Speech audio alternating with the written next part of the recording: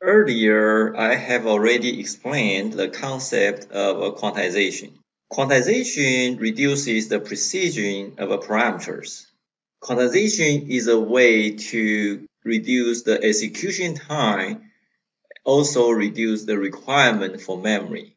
Because by reducing the precision, we can use fewer bits to store the parameters. Quantization is so important and the PyTorch supports quantization. This lecture will provide an introduction of PyTorch's features for quantization. Let's review why we want to use quantization. A commonly used method for quantization reduces 32-bit floating point numbers by 8-bit integers. In neural networks, we rarely use 64-bit floating point numbers. 32-bit single precision floating point numbers are much more common. When we quantize the floating point values, we can quantize to different type of uh, precisions. The 8-bit integer is the most common way to do quantization. When we reduce each number from 32 bits to 8 bits, we can reduce memory requirement by 75%. The memory bandwidth can be reduced by 50 to 75%. Memory bandwidth is defined as the amount of data passing between the interface of a memory and the processor in a unit amount of time. This value is not exactly 75%, because the processor needs some data that is not parameters. For example, the input images. Reducing the size of a parameter by 75% does not mean we reduce the overall memory bandwidth by 75%. Also, bandwidth is divided by time. If less data is needed and the computation is faster, the processor may need more data in the same amount of time. That's another reason the bandwidth reduction is less than 75%. Quantization can also reduce execution time significantly, often by more than 50%. In PyTorch, quantization models are traceable and scriptable. Moreover, it is possible to mix quantized and floating point operations in a model. PyTorch supports three types of quantization we have already seen them before. Here I also provide PyTorch's commands for these types. The first type is dynamic quantization. Floating point values are stored in memory. These values are converted into integer before computation. In PyTorch, the function is torch quantization quantize underscore dynamic. Dynamic quantization can be helpful because the computation requires only integer. Therefore, the computation can be faster. The second type of quantization is called static quantization. This requires more work. Observers are inserted into the neural networks Observers record the distributions of the parameters and then determine how to quantize the parameters. PyTorch also offers the feature of uh, operator fusion. This combines several operations into one and can reduce memory accesses. Here are some of the functions provided by PyTorch. Torch quantization prepare is used for observers. Torch quantization fuse underscore module can fuse modules. The actual quantization uses the function torch quantization convert. The third type of quantization is called quantization aware training. We frequently see the acronym QAT. For this work, floating point is used in training, but the, the forward path is quantized. The reason is to maintain the floating point precision so that backpropagation can still work. If we actually use integers For training, it is very likely that the gradient difference is too small and it can be quantized to zero. When the gradient difference is zero, we cannot train the neural network. Therefore, we have to keep the precision in the floating point. The PyTorch function, torch, quantization, prepare, QAT can be used to quantize the parameters. After training, torch quantization convert is used to actually quantize the parameters. At this moment, quantized operators are supported only for CPU inference, not for GPU. Here are a few examples using different types of quantization.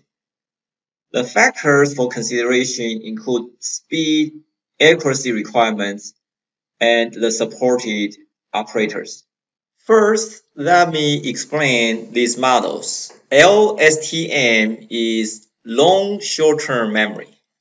RNN is recurrent neural network. BERT is bidirectional encoder representations from transformers. All of them are neural networks used for natural language processing. These machine models can use dynamic quantization because the throughput is dominated by computation and memory bandwidth. These machine models are different from convolutional neural networks because these models are designed to process sequences of data in natural languages, in particular, the relationships among words. In the last case, a convolutional neural network uses quantization-aware training because the accuracy cannot be achieved using static quantization. This slide shows some numbers. The slide compares three different machine models, BERT, ResNet, and MobileNet. The models run on different hardware. The performance improvements are shown in the slide. For BERT, the performance in terms of latency almost doubles by dynamic quantization. For ResNet, using static quantization, the performance is slightly better than double.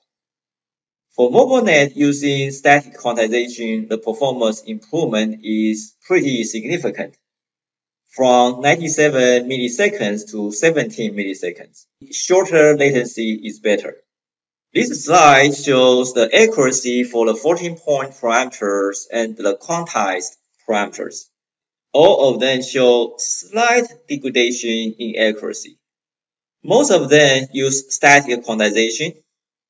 One uses quantization aware training. One uses dynamic quantization. It is noticeable that MobileNet V2 uses quantization aware training and the accuracy still drops a little. PyTorch offers two types of quantization the first is called eager mode, and the second is the FX graph mode. In the eager mode, most things are manual. In the FX mode, many things can be automated. Both modes support static quantization, dynamic quantization, and quantization aware training. Let me show you some code snippets of PyTorch's support for quantization. This is an example using the eager mode dynamic quantization. The program calls torch quantization quantize underscore dynamic for quantization. This function takes up to five arguments. The first is a model. In this example, model underscore FP32 is a model of a, a linear layer. The next argument specifies how to quantize. In this example, it is a linear function. The next argument is the target data type. Here, it is 8-bit integer. Two more optional arguments are mapping and in place. The default variable for them is none and false. The next example is eager mode quantization-aware uh, training. This example creates a model that includes the torch quantization quant stop module. This is the first function called in the forward function. Before training, it is necessary to set the training mode. This model uses the FBGEMM for the configuration. FBGEMM is a library for tensor matrix calculation using the Intel x86 instruction set. PyTorch supports two configurations. The first is the FBGEMM we have seen. The second is QNNPACK library for the ARM instruction set. The next statement uses fuse underscore modules to fuse the operations for convolution, batch normalization, and the ReLU function. The function quantization prepare underscore QAT inserts observers for the weights and activation. Then the program enters the training loop. Here are some common mistakes from the PyTorch documentation. PyTorch does not allow saving a quantized model directly. If you do that, this is the error message. If you want to fix it, you can see PyTorch's documentation. Also, you cannot mix quantized tensor with non-quantized kernel. These are the error messages. If you want to know how to fix the problem, please look at PyTorch's documentation.